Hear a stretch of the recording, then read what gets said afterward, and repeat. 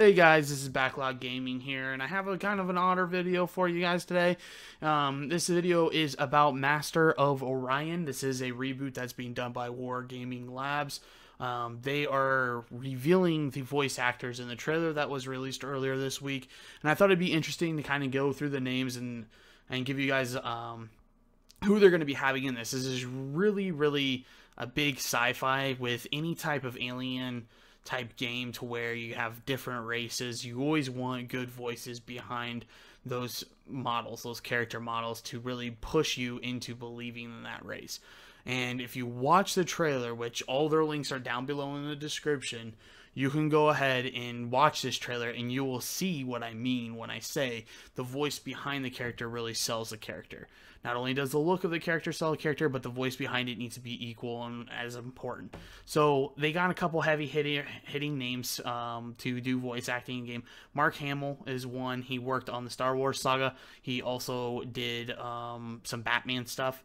Then from there we have Alan Tudyk, who did Firefly. Michael Dorn, who did Star Trek, The Next Generation. Kat Cressida, did Haunted Mansion, Dwight Schultz, Babylon 5, and Robert Englund, A Nightmare on Elm Street. All those individuals are in this game and voicing races, voicing characters. And when you watch the trailer, they all throw their little unique type of dialect on top of the character that they're playing. Now, those little things, you know, there's like the little green alien that's there really high squeaky voice, kind of nervous, hyperventilating, always um, running at a higher metabolism, as he says. He's always on like level 12 when he needs to be on like a 5. Um, another one was a bird that the female voices. Um, from there, she does a great job of throwing in like kind of a squeal or um, kind of a bird noise at the end. Um, to basically sell the character, sell you on the character is what's what it's going for. Um, also, you've seen that anytime I talk about a character and a voice behind the character, if you have a voice that is not only recognizable but that is performed amazingly well and in extreme detail, that's going to be your number one thing to where you're going to be sold on that character. The look's going to sell you, and as long as the voice fits the look, then from there, you're going to be immersed. So, this game looks amazing. The graphics are amazing.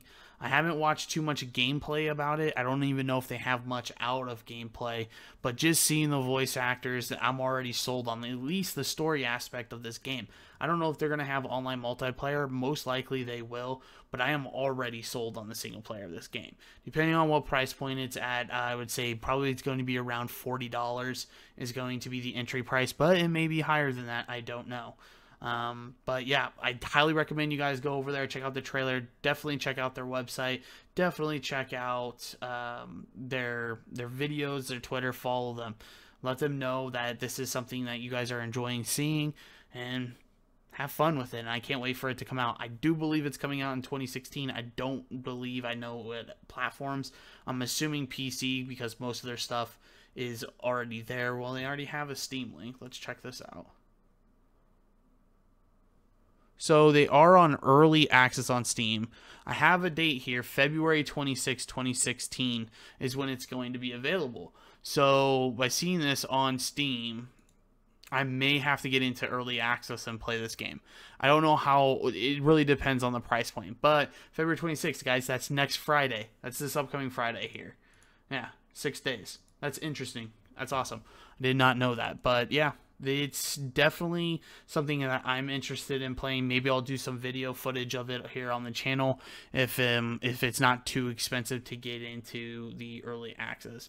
Anyways, guys, go ahead and check them out. Wargaming's awesome, and I'll talk to you next time.